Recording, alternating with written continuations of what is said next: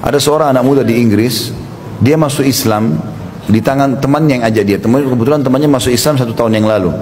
Ada seorang syekh lagi ngisi pengajian lalu temannya bilang syekh saya bawa teman saya ini mau masuk Islam. Tapi sebelum masuk Islam dia punya dua pertanyaan. Kata syekhnya silakan suruh dia bertanya. Bertanya dia bilang syekh saya mau tanya kenapa kalian suruh eh, kenapa kalian tidak boleh salaman antara laki-laki sama perempuan? Islam melarang salaman yang bukan mahram kan gitu.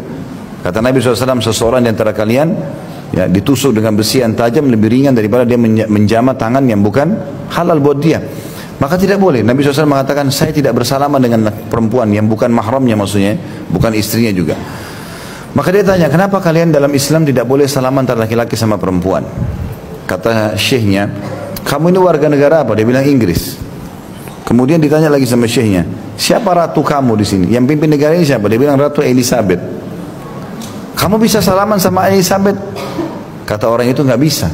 Kenapa nggak bisa? Kan dia ratu. Saya nggak bisa salaman, saya warga biasa. Kata syekhnya, semua wanita muslimah ratu. Nggak boleh sembarangan orang salaman. Yang boleh salaman orang tertentu saja.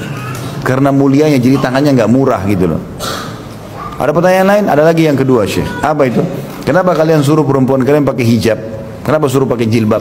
Kenapa nggak seperti perempuan kami mau pakai baju nggak pakai baju terserah? Gitu.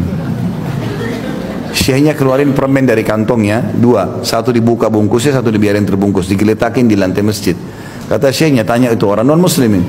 Kalau kau saya suruh permen ini, pilih permen ini yang mana kau pilih? Dia bilang yang terbungkus. Kata syekhnya, kenapa yang nggak terbuka saja? Tinggal ambil, masukkan di mulut.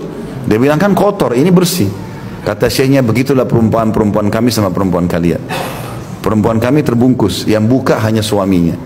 Kalau perempuan kalian kayak permen yang sudah terbuka, semua orang bisa incip. Gara-gara dua jawaban ini masuk Islam orang itu.